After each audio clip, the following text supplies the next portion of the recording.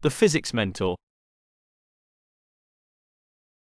Basic concepts of physics through equations. Kinematics. Projectile projected horizontally from a height.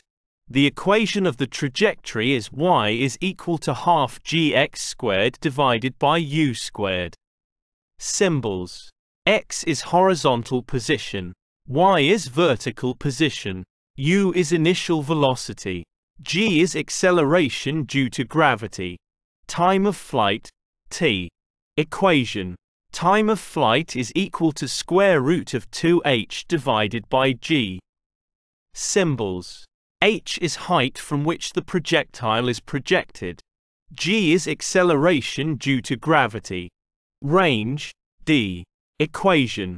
Range is equal to u times square root of 2h divided by g. Symbols. u is initial velocity. h is height from which the projectile is projected. g is acceleration due to gravity.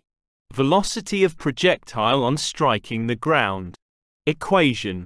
Velocity is equal to square root of u square plus 2 times gh. Symbols. U is initial velocity. g is acceleration due to gravity. h is height from which the projectile is projected.